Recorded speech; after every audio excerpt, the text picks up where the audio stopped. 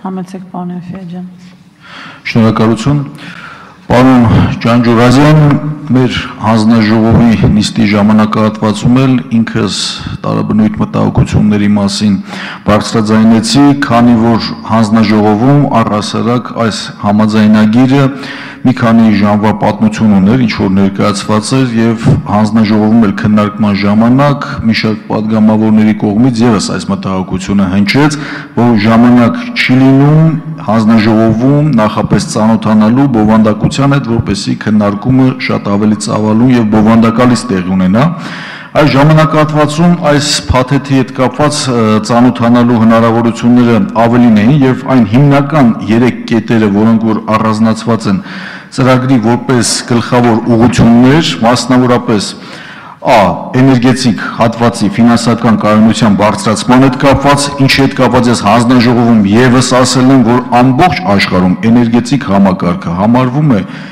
կայուն ոլորտ, ինքը ֆինանսապես նաև պետությանը օժանդակող ոլորտ, ոչ թե նաև հակառակ պարագային վարկեր վերցնեն, որպեսի համակարգի հետ կարողանան որոշակի շտկումներ մտցնեն։ Ձևակերպումները B կետում պետական ֆինանսների կառավարման արդյունավետության բարձրացում, G կետ բիզնեսի վարման պայմանների բարելավում եւ այս ամեն ինչը նաև արդեն իսկ հաստատված, որ նպատակահարմար է համարում եւ ներկայացվել է ազգային ժողովում ամբողջ այս փաթեթի մեջ ընդհանրապես այս 3 կետով, 3 նախադասությամբ է ամբողջ վարկը հիմնավորված։ Մնացած ամբողջ այս փաստաթղթաշրջանառությունը տեխնիկական պայմանների, լիազորագրերի եւ եվրասիական արդեն բանկի հետ փոխհարաբերությունների, պայմանագրերի, կետերի խախտման այս վերաբերյալ համապատասխան փաստաթղթերն են կազմած։ Ես կուզենայի իրոք այս կարևորագույն հարցի հետ կապված դուք մանրամասնի գործնական ինչ քայլեր եք իրականացնելու 300 միլիոն ԱՄՆ դոլարը Հայաստանի Հանրապետության համար դա բավականին մեծ գումար է դուք ինչքան էլ որ ռիսկային չեք համարում այն շեմը որ այսօր Հայաստանի արտաքին պարտքը հասել է 4 միլիարդ 441 միլիոն ԱՄՆ դոլարի ես ինքս եթե դուք թեկուս թվերով համարում եք սա ռիսկային չէ այնուամենայնիվ պետք է փաստենք որ սա մտահոգիչ է Եվ այս ամենի հետ կապված ես կարծում եմ դուք պետք է այնքան հանգամանալից ներկայացնեք եւ այս փաստաթուղթը այնքան հանգամանալից պետք է լինի, որպեսզի ոչ միայն ազգային ժողովի падգամավորները կարծիք ու եզրակացություն կազմեն այս փաստաթղթի դեր հետ կապված, այլ մեր հասարակությունը, ժողովուրդը, ովքեր որ լսում են եւ հետեւում են, հասկանան, որ իրոք արդյունավետ է, իրոք նպատակին է ծառայելու այս վարկային համաձայնագիրը, իրոք տնտեսության մեջ տեղաշարժ արձանագրելու։ Սա է հիմնական միտումը եւ ժամանակի առումով ես կանրադառնամ։ պատասխանեք։ Շնորհակալ եմ։ Շնորհակալություն հարցի համար, դուք ինձ հնարավորություն տվեցիք հավանաբար բաց թողածս լրացնել, որովհետև այն միջոցառումները, որոնք նախատեսված են ծրագրում, դրանք չի նախատեսվում իրականացնել այս վարկային միջոցներով։ Սա կարող է թյուրընկալման տեղիք տալ լսողների մոտ, ուղղակի ուզում եմ որպեսզի եւս մեկ անգամ նշեմ, որ տվյալ դեպքում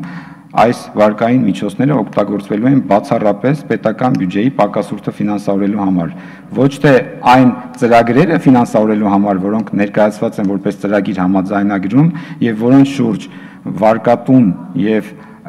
վարկառուն ձեռք են բերել համաձայնություն եւ որոնց կատարման դեպքում վարկատուն համաձայնել է որ կտրամադրի գնահատելով որ դա կարող է առաջացնել որոշակի կարճաժամկետ ռիսկեր,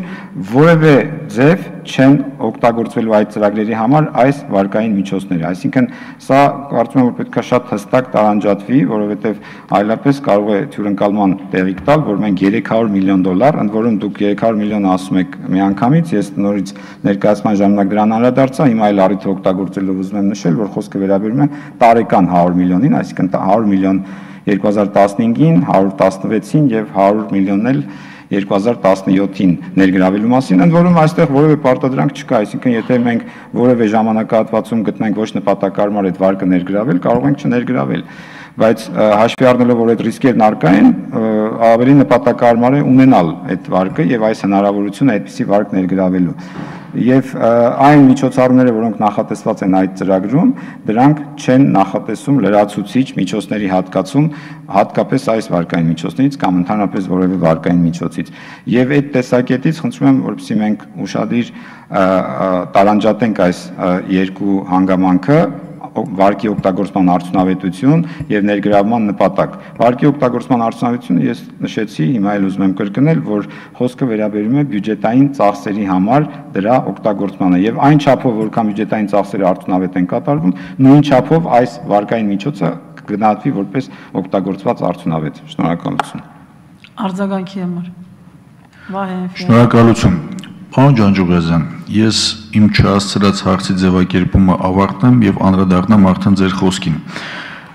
Նույն հանձնաժողովի նիստի ժամանակահատվածում ես ձեզ ներկայացրեցի, որ դուք իրականում հաշվարկ արել եք